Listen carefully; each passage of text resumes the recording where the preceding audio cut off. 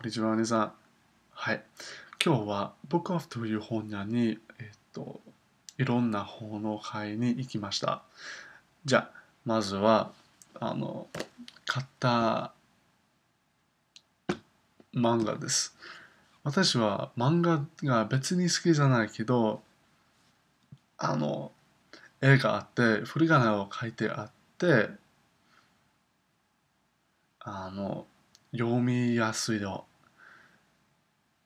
えっと、それで、うん、それのおかげで、あの、読みやすい。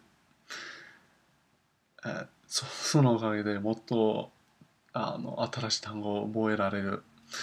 はい。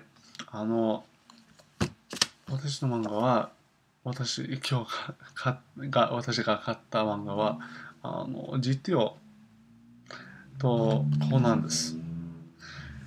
えーっと、私は、えっと、漫画を別に好きじゃないからよ。あの、人気な、有名な漫画を買った。えー、ちょっと変だと思いますね。でも、実は面白かったですね。えっ、と、エリカちゃんの好きな漫画はコナンだから、えっ、と、もちろん、買います。買いましょう。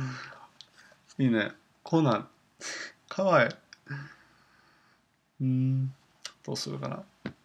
じゃあ、えっと好きな漫画は、あ好きな本、本漫画、なんだっけ。えっと、ダーリンは外国人ですね。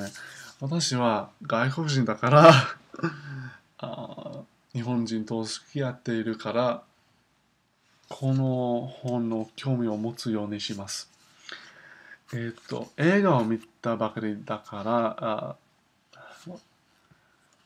あの本を見た時え本当にと思っていますと思っていました。えっ、とそれであの、えーっと、読みながら笑っていました。えっと、えっと、トーニーは私みたいですね。でも、はあな女の人の名前忘れちゃったけど、女の人は私の彼女みたですね。本当に可愛いと思いますよ。嬉しくなった。えっと、映画は、映画も面白かったけど、あの、えっと、英語が話せる人は、アクティングって何？アクティングはちょっと悪かったね。でも、トニーは素晴らしかった。はい。でも、最後は、初めての中国語の教科書だ。日本語で中国語を勉強しようと思っていますね。最後は私はとても難しかったから、あの、難しかった、え難しかったから、あの、勉強できない、できへん。中国語を勉強できませんでした。えっと、それだから、あの、小さい本、小さい、小さい教科書だから、あの、どこでもいいですね。勉強できるどこでも勉強できます。はい。えっと、CD もありますね。いいね。中国は、えっと、難しいですけど、頑張ります。はい。えっと、それは私が買った読み物だね。